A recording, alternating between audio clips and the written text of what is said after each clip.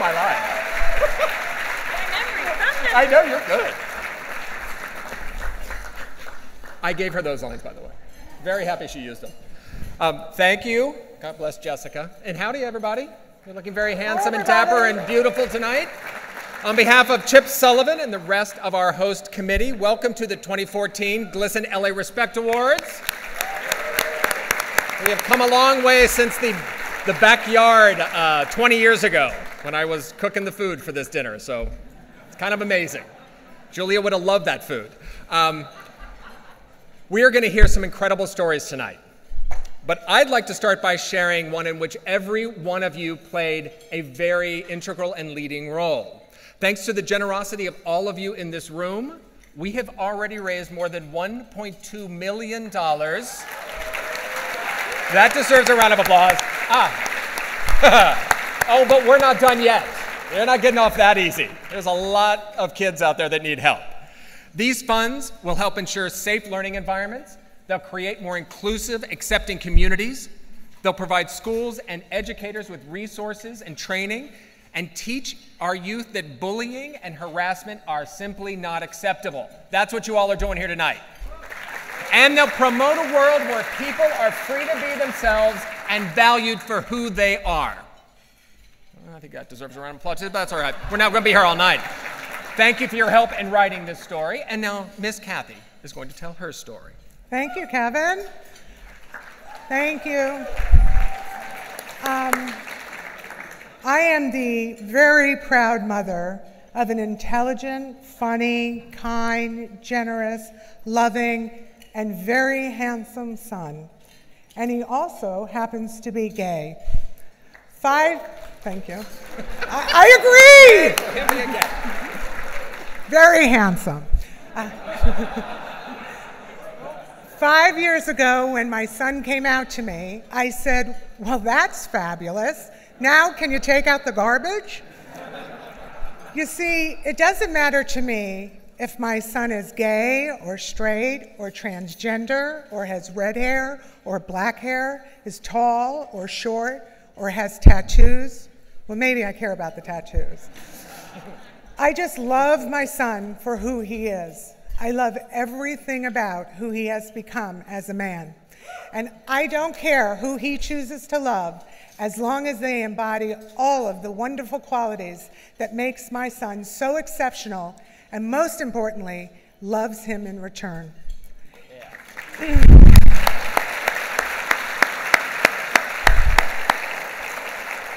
you see, to me, love does not have a gender. Love does not discriminate. The heart beats the same in every human being. Love is so precious that it should be cherished wherever it's found.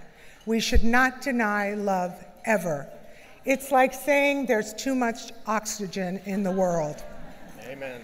I'm here to tell you that there are other mothers like me other families like mine who embrace LGBT youth for who they are and who there is no judgment and accept their children wholeheartedly. There has been some progress, but sadly, as an LGBT activist, I have seen the other side. I have worked closely with homeless and displaced LGBT youth and come to understand that their experience could not be more removed from my son's. For my son, coming out was a positive, almost shockingly undramatic moment.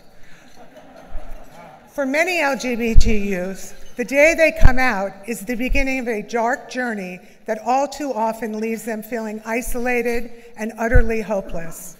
Every time a child is afraid to enter the classroom because of who he or she is, every time a child finds themselves sitting alone on a bus because of how they self identify. Every time a child is called and bullied faggot or dyke because of he, who he or she is, it's not their shame, it's ours as a community. Amen.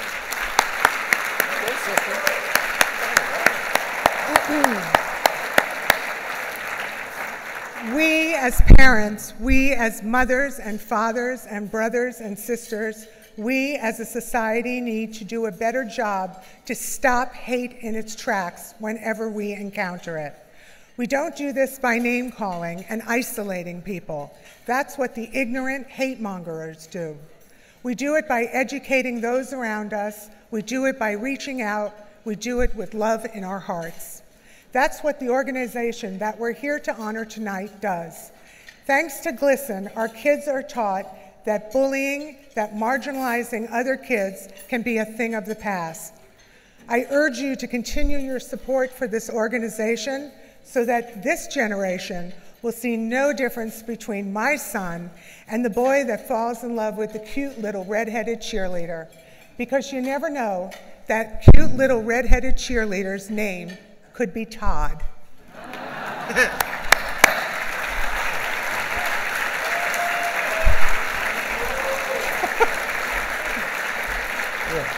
You know, the funny thing is, I actually dated a cute little redheaded cheerleader. His name wasn't Todd, but that's, that's for another, story, another time. Uh, luckily, GLSEN is not in this alone. We're so grateful to have incredibly generous sponsors who are making a huge difference in kids' lives. And as Jessica mentioned, I am proud to work for one of them.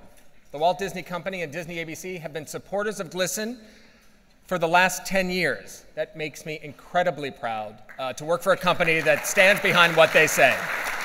So thank you. As the chair of GLSEN's board of directors and a member of the GLSEN family for the past two decades, I've seen firsthand the incredible impact this organization has on students across the nation.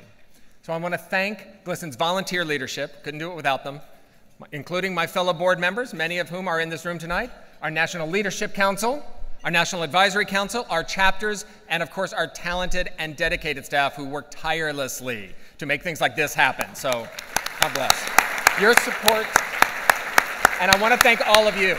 We cannot thank you all enough. Your work is changing lives and enhancing futures as we build school environments that are free from bullying and harassment. Uh, we're very excited to be able to introduce to you tonight some of GLSEN's newest student ambassadors. Out of 250 applicants nationwide, 12 exemplary students were chosen for their leadership, their commitment to the Safe School movement, and their drive to support and further GLSEN's work. Some of them are here tonight to share their powerful stories with you. You'll also get to meet Cliff Tang, the 2014 Student Advocate of the Year.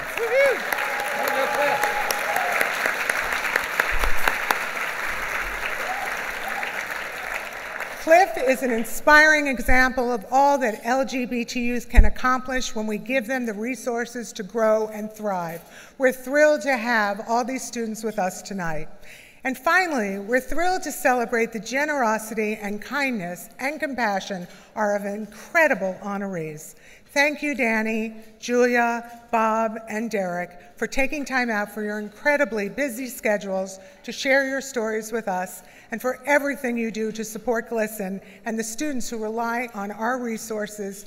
You inspire us all.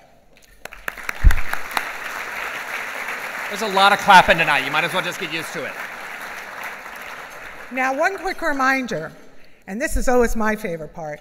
The online auction is still open. Ladies and gentlemen, online. And there are incredible items up for bid. So I want to just like, Kevin, we need to talk about this because I think you and I need to go 50 50 on some of this. Okay. Oh, yeah. For instance, we're going to talk about it very quickly though. Okay. Entertainment Weekly's 2015 Comic Con party in San Diego. The event of the year, Jim Parsons. Where's Jim Parsons? Is this not the event yeah. of the year, Jim? Yeah. Yes. Okay. And, and, and I've already been on it. Kevin, Kevin has an X Men phone, so we will be bid. Write that down. We're yes, bidding on that. bid on that. We bid on that. Four tickets. Listen to this. You don't get these items anywhere. Four tickets to a live taping of The Voice. Now, I happen to know Donald DeLine. Where's Donald DeLine? Donald, Donald DeLine. You were lo- almost on The Voice. He, he, he loves The Voice. So we're going to outbid Donald DeLine and get four tickets to I the can't outbid Donald DeLine. Okay. And finally, if this doesn't get you excited, I don't know what will. Two tickets and after party passes. Now, let me just say this. 85% of this room will be bidding on this. Two passes to the after party and two tickets to the premiere of Magic Mike XXL. Magic Mike XXL.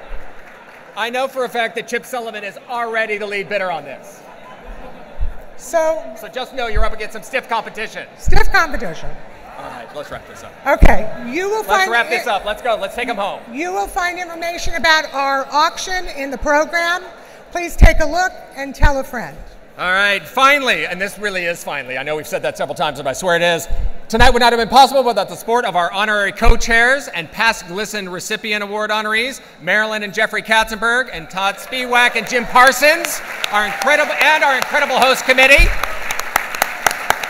I'd ask you all to stand, but I know you won't, so we love you all anyway.